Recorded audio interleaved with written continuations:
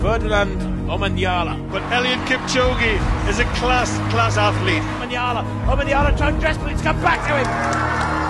Kipchoge's going win this. wanafanya juhudi mingi zaidi kukimbia kupata pesa kidogo ambayo wanapata, hatunataka kutoa ushuru. ukipata head of state ana appreciate kitu tunafanya na maanisha ni kitu bigi Mimi nasema hatutaki kuona kama hawa wanariadha wanatoza ushuru.